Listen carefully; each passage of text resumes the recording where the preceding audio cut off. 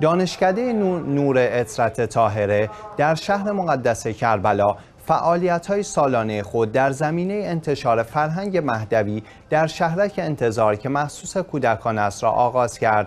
دستندرکاران این فعالیت مهدوی طی اظهاراتی به خبرنگار خبرگزاری شیویز گفتند برای سومین سال پیاپی است که این فعالیت مهدوی مخصوص کودکان توسط این مجموعه در حال برگزاری است و شش روز به طول می انجامد و بیش از 150 کودک دختر و پسر در آن شرکت می کنند.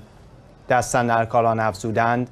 هدف از برگزاری این جشنواره افزایش سطح آگاهی و دانش مهدوی کودکان است.